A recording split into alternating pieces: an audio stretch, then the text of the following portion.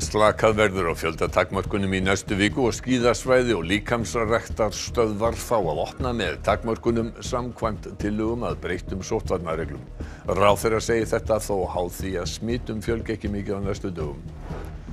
Ekki er til búnaði hér á landi til þess að fullnýta hvert glas af bóluefni. Hægt er að ná sex skömmtum úr hverju glasi en með fyrirliggjandi búnaði nú nást aðeins fimm. Demókratar á Bandaríkjaþingi krefjast þess að Donald Trump verði vikið úr embætti áður en Joe Biden tekur við forsetaembættinu. Trump ætlar ekki að vera viðstættur innsetningar að töfnuna. Framkvæmdastjóri Krabbameinsfélagsins segir landlækni og skimunaráð hafa vikið frá evrópskum leiðbeiningum og áliti fagrás þegar skimunaraldur fyrir brjóstakrabbamein var hækkaður. Formaður skimunaráð segir þjónustuna þó ekki skerta.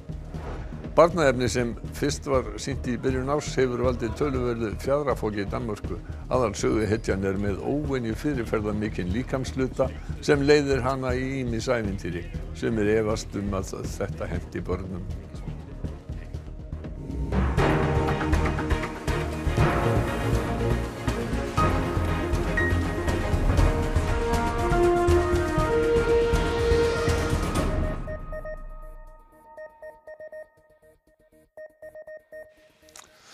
Gott kvöld.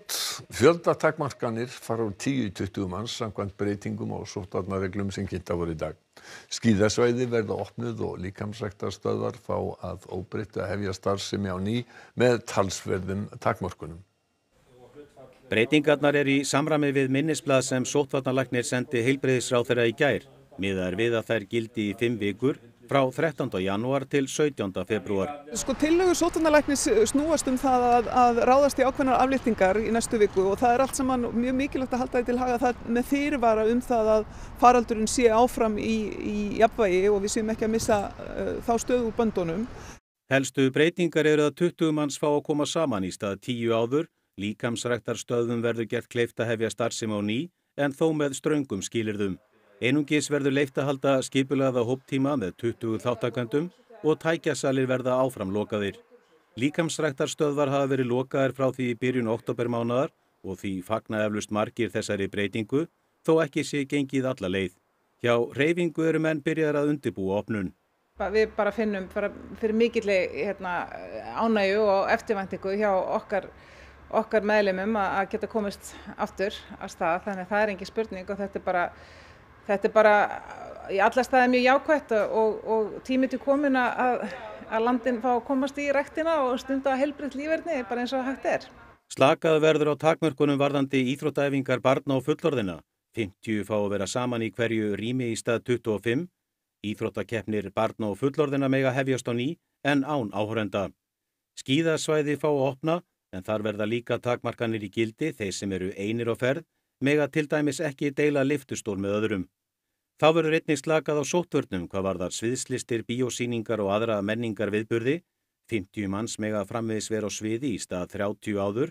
Leifilegt verður að taka móti 100 gestum í stað 50. Aðrar reglur eru óbreyttar og grímu skilda áfram í gildi þar sem ekki er hægt að tryggja 2 metra fjarlæð. Tvö innanlandssmitt greindust í gær, báðir voru í sótkví, nýju greindust eins og er með virt smitt á landamærunum og þar hefur tilfellum farið fjölgandi á undanförnum vikum. Sóttvarnalektin hefur lagt til að herða reglur á landamærum, meðal annars að fólk verði skilda til að fara í tvöfaldaskimun.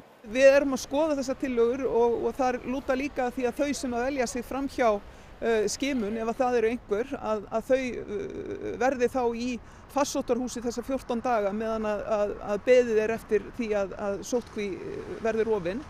Það er líka, snýst líka um það að þessa fimm daga sé meira og aukið eftirlit með því fólki sem að er að býða eftir setni skimun.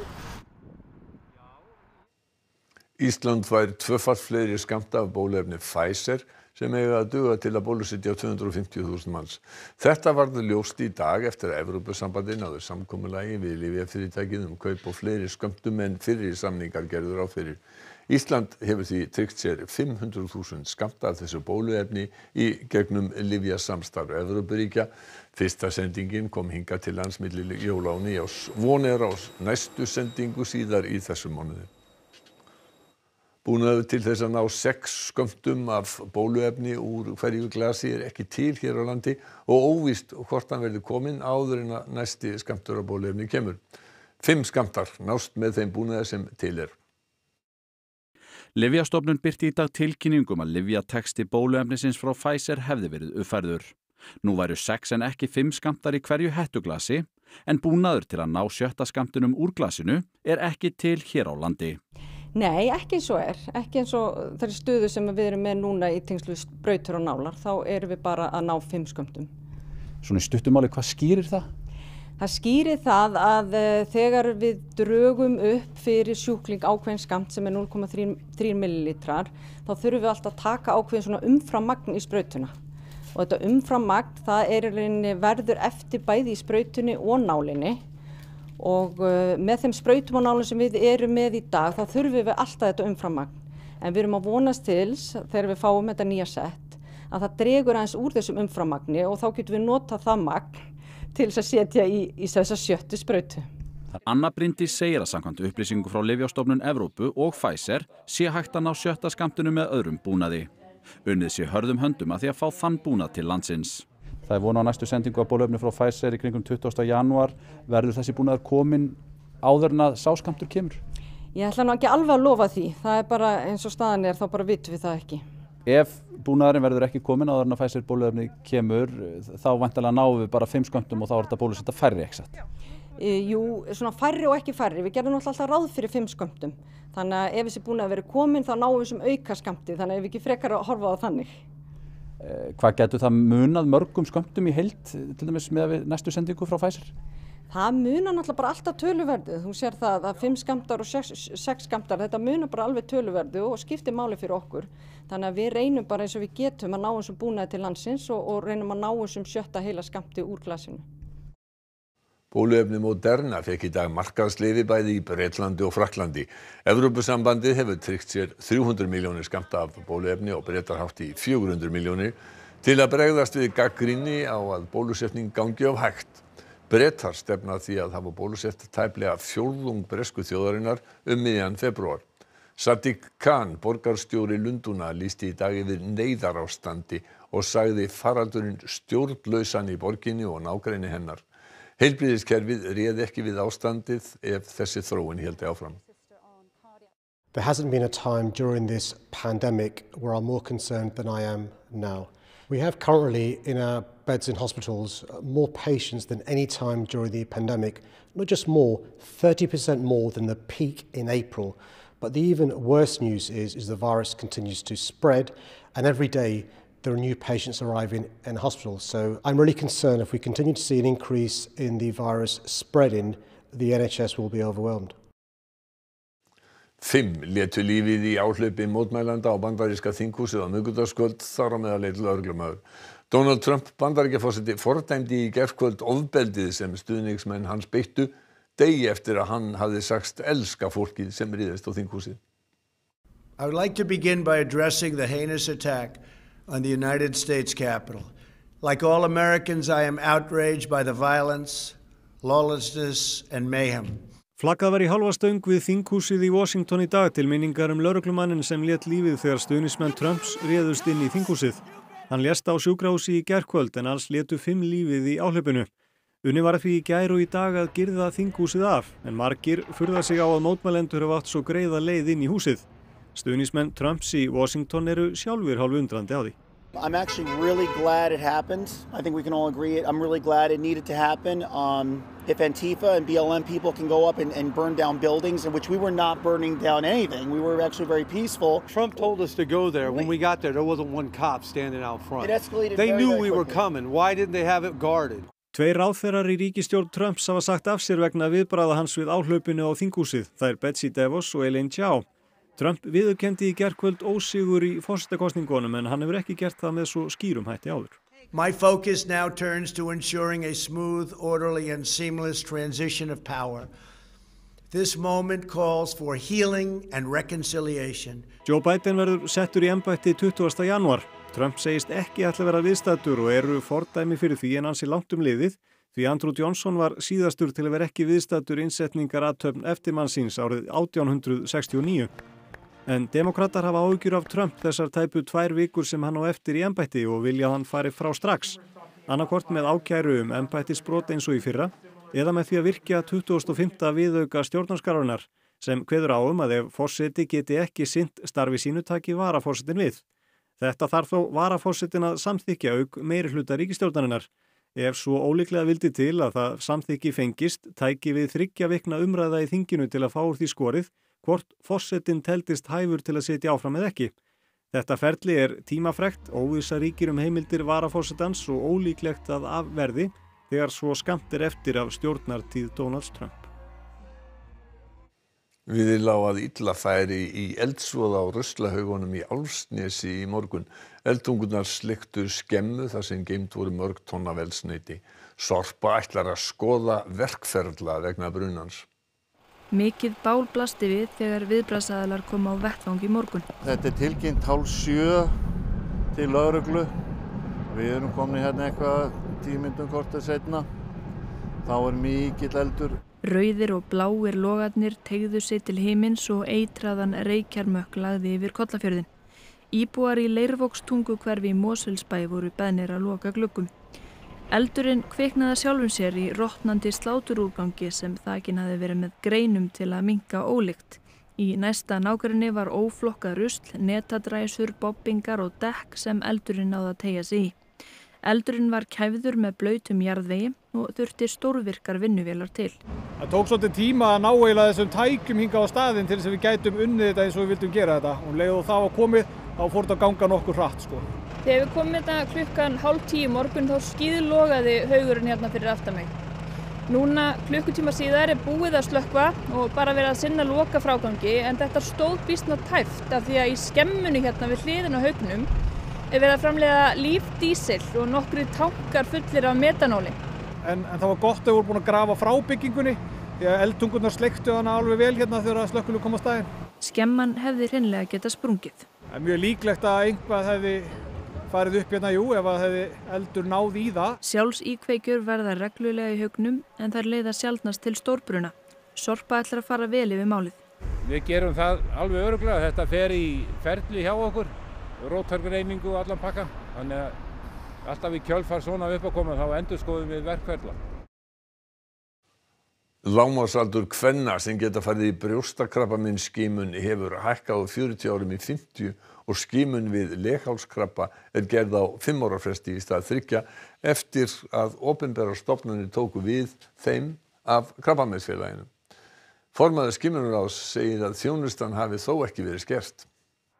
Um áramótin færðu skimanir fyrir legháls og brjóstakrabbaminni frá krabbaminsfélaginu til heilsugjæslunar landsbítala á sjúkrahúsins á Akureyri og hefur það ýmsar breytingar í för með sér.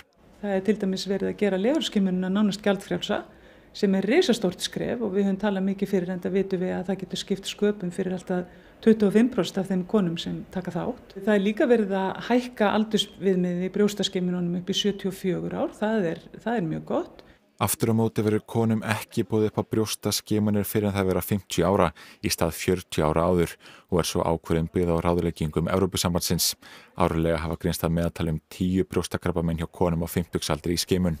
Það eru þetta neikvægt fyrir þær konur, það er alveg augljóst. En þegar skimunin er skipulögð í heild þá eru alls konar þættir sem að þarf að taka afstöðu til.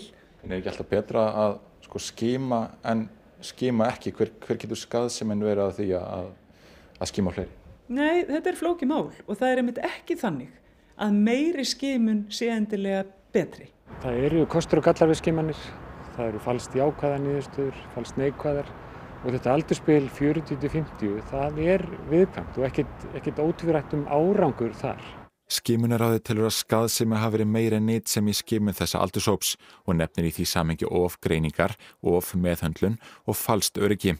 Halla tilur að kynna hefði mátt raukstinning fyrir breytingunum betur og bendir á að í evrósku leiðbeiningunum sem allt með skimun 45 til 49 ára hvenna.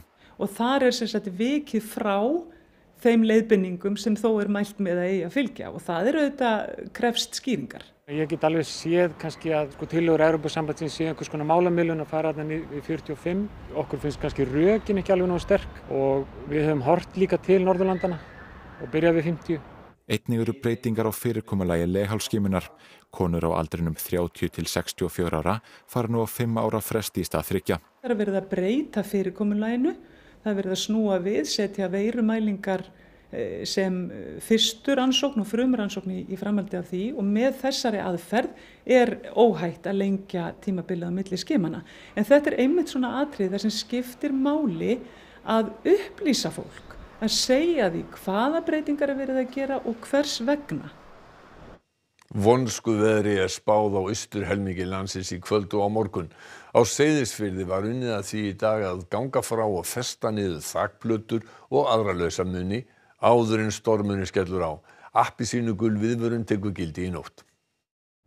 Laurugluembættin á Norður og Austurlandi sendi frá sér tilkynningu í dag þar sem íbúar eru beðnir að huga að lausamunum. Þá eru eigendur báta sérstaklega beðnir að passa sínar eignir. Appelsínugul viðvörun tekur gildi klukkan þrjú í nótt fyrir Norðurland, Austurland, Austfyrði, Suðausturland og Miðhálendið. Talið er að veðri verði einna vest á Austfjörðum þar sem spáðir ofsa veðri og að kviður geti farið yfir 45 metra á sekundu. Ekkert ferðaveður er á þessum slóðum meðan veðrið gengur yfir og eru vegfarendur hvattir til að fylgjast vel með veðurspá. Á Seyðisfyrði er hreinsunarstarf eftir örskriðunar enn í fullum gangi. Þar hafa starfsmenn sveitarfélagsins reynd að binda niður þakplötur og annað lauslegt í dag við krefjandi aðstæður. Við erum nokkru vandræði með það því að blöð, skriðan er svo blöyt og, og þetta er svo, við komum ekki tækjanum sem sagt upp á skriðuna. Þannig að við, eins og við séð á, við erum bara með handafli í því að týna af þessu barujátn og annað sem við höfum ágjörða að fjúkja á morgunum. Það er auðvitað ímislegt hérna sem getur fókið. Það eru hérna brotin hús og og, og, og flaksandi þög sem við bara hreinlega tristum okkur ekki til þess að fara upp á til þess að, að hérna, tryggja og það verður bara við verðum bara að vona það besta með það Sigur Jónsson viðurfræðingur, það viðrar ekki til ferðarlaga á austurhluta landsins næstu klukkutímana. Nei, það er veðurferð nú vestnandi eins og kom fram áðan og, og það verður mjög slægt, þetta verður svona byrjar á Norðurlandi það sem verður vest svona í, um, kannski um miðnætti og síðan dettur stormurinn inn á fullum þunga á, á Norðausturlandi og Austurlandi og, og, og þetta verður mjög slæmt í nótt og það verður ekki rauninu fyrir ná, fyrir ná svona háti á morgun sem að e, viðverðinir á Norðvesturlandi fara að breytast úr appsínu gulir í, í gula og á Austurlandi og, og eh, þannig fyrir austana þá verður bara morgudagarnir mjög slæmur og það er ekki fyrir annað kvöld sem að fyrir að draga úr þessu. En uh, þetta veður verður miklu skaplegar á vesturhluta landsins. Já, það má nilega segja það sko, Vest, vestfjörðirnir, breyðafjörðurinn, faksaflóin og Suðurlandi e, kemur eiginlega alveg til með að sleppa við þetta og það verður bara alveg þokkalegt veður á, á vesturpartir helmingnum á, á morgun. Já, takk fyrir það Sigurður og við heyrim að sjálfsögðu nánar í þér á eftir þegar þú ferð yfir viðspáðina. En við ætlum að fara yfir í menninguna.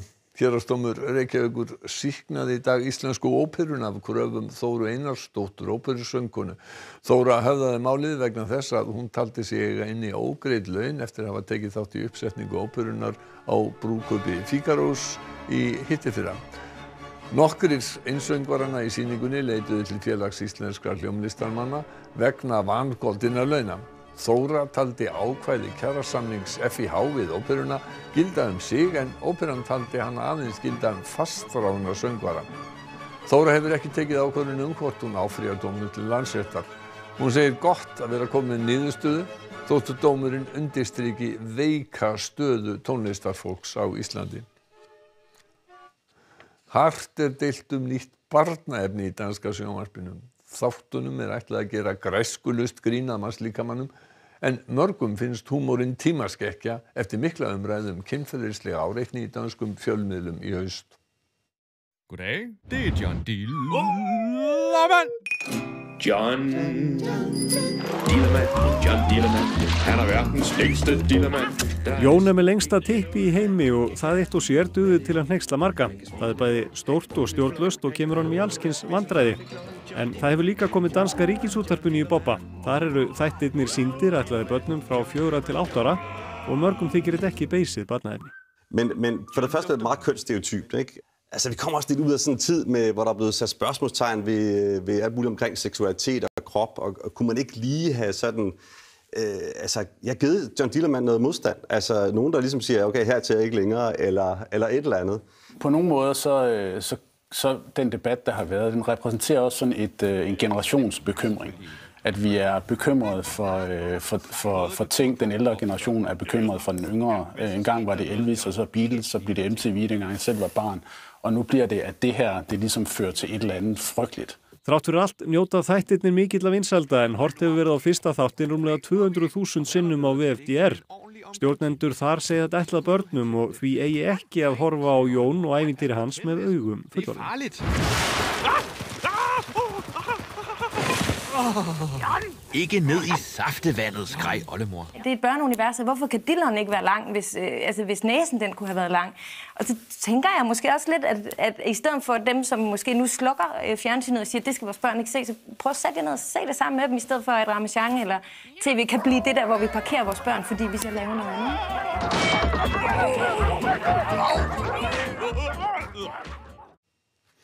Eva Björk Bindisdóttir sér um íþrótti kvöldsins. Keppni og æfingar í öllum íþróttum verða leifilegar í næstu viku. Deildarkeppni í körfu og handbólta hefst á ný og Reykjavíkuleikarnir eru á áallun í janúar. Formaður KKÍ segir þetta mikilvægt fyrir alla íþróttarhefinguna. Það sem er enn gleðilegra er núna komast ungmennin aftur á æfingar og meiri sé að þau fá að keppa síðan í kjölfarið. Aston Villa þarf að tepla fram varaliði gegn Englandsmeisturunum í kvöld og Martin Hermansson og félagar mættu Barcelona í gær.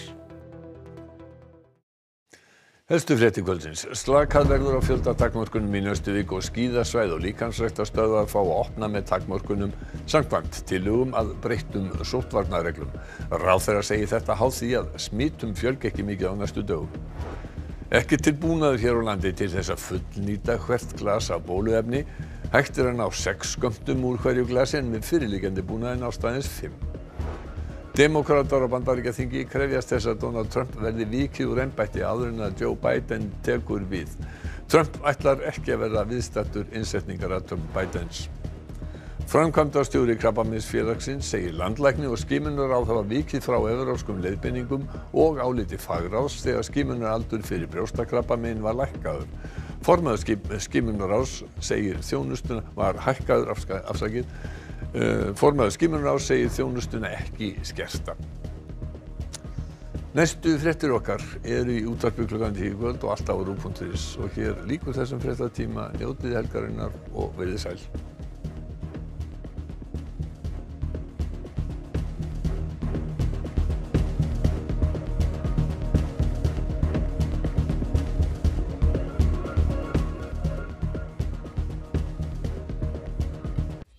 Á